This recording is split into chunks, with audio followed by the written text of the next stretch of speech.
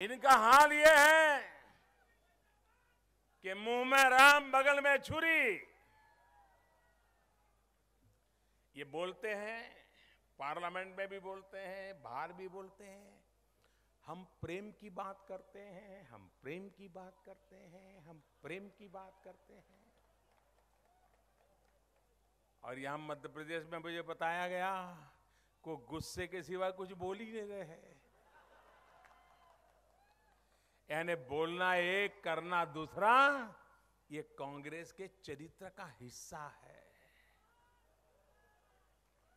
अब मुझे बताइए, ये कांग्रेस के नेता जा जा करके भड़का रहे हैं कि शिवराज जी ने ये नहीं किया, मोदी जी ने ये नहीं किया, शिवराज जी ने ये नहीं किया, मोदी जी ने ये नहीं किया। ये कांग्रेस वालों को एक सवाल पूछोगे आप? मुझे पूरा जवाब चाहिए आप लोगों से।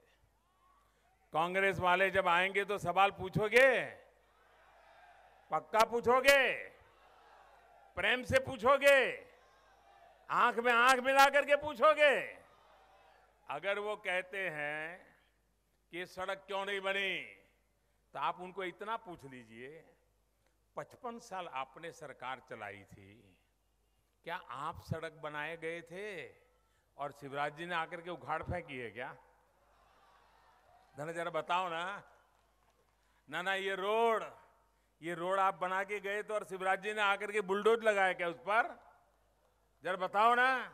ये ये स्कूल क्या आप पचपन साल में बना के गए थे? क्या शिवराज जी ने आकर के उसकी दीवारें तोड़ दी क्या?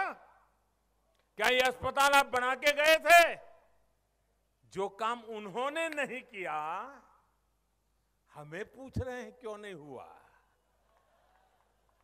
अरे पचपन साल में तुम जो नहीं कर पाए, पहले उसका जवाब दो। क्या तब तुम्हारे दिमाग को ताला लग गया था क्या? ये पहली बार तुम्हें पता चला कि विकास का मतलब ये होता है, ये है, करना होता है। और इसलिए भाइयों बहनों, कांग्रेस पार्टी, मैं तो हैरान हूँ। और अब मुझे समझ आया है कि इतने सालों तक उनको बार बार चुनाव में जीतते कैसे थे? क्योंकि उस समय विरोधी दल की भी ताकत बहुत कम थी। मीडिया भी उतना वाइब्रेंट नहीं था और इतनी चैनल भी नहीं थे, इतने अखबार भी नहीं थे। सोशल मीडिया तो था ही नहीं। इसलिए वो जो झूठ परोसते थे, वो नीचे तक पहुँच जाता था और लोगों को झूठ भी सच लगने लगता था।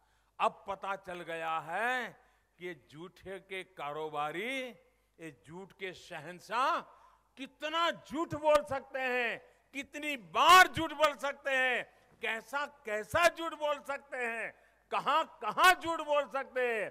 शायद रात में बड़बड़ाते होंगे, उसमें भी झूठ बोलते होंगे, ऐसी झूठ बोलने की आदत हो गई। लेकिन अब मीडिया जागरूक है। सोशल मीडिया ज़्यादा एक्टिव हो गया है। अखबारों में की संख्या बढ़ गई है। और इसलिए उनका झूठ एक घंटे, दो घंटे से ज़्यादा जी नहीं सकता, उसका मरना तय हो जाता है। और इसलिए उनको नया झूठ गढ़ना पड़ता है